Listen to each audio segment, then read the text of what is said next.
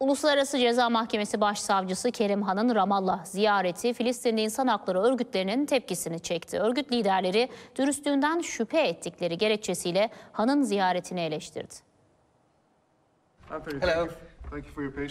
Uluslararası Ceza Mahkemesi Başsavcısı Kerim Han, Ramallah'a gitti.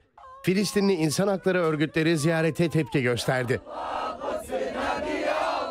Filistin Devlet Başkanı Mahmud Abbas, Uluslararası Ceza Mahkemesi Başsavcısı Han'ı Ramallah kentindeki başkanlık konutunda kabul etti. Abbas, Han'a Tel Aviv'in Gazze'deki soykırım suçları ve Batı Şeria ile Doğu Kudüs'teki ihlalleri hakkında bilgi verdi. Han'dan İsrail'in işlediği savaş suçlarının soruşturma ve kovuşturma sürecinin hızlandırılmasını talep etti. Saldırıların durdurulması, insani yardımların artması, bölgeye su, elektrik ve yakıt temin edilmesi çağrısında bulundu. Merkezi Ramallah'ta bulunan insan hakları örgütü El Hak, Bağımsız İnsan Hakları Heyeti ve Kudüs Hukuki Destek Merkezi Han'ın ziyaretine tepki gösterdi. Örgüt temsilcileri Han'ın dürüstlüğünden şüphe ettiklerini söyledi.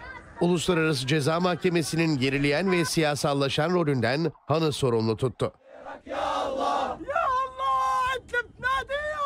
Sivil toplum kuruluşlarından yapılan açıklamaya göre Han, işgal altındaki Kudüs'ü İsrail'in kenti olarak görüyor ve Filistinli ailelerle görüşmekten kaçınıyor. Bunun yanı sıra Filistin'deki soruşturmalara diğer ülkelerden daha az bütçe ayırdığı da iddialar arasında. Basın toplantısı düzenleyen temsilciler tepkinin Uluslararası Ceza Mahkemesi'nin başsavcılık makamına değil, Filistin dosyasıyla ilgili hiçbir adım atmadığını söyledikleri Han'a yönelik olduğunu belirtti.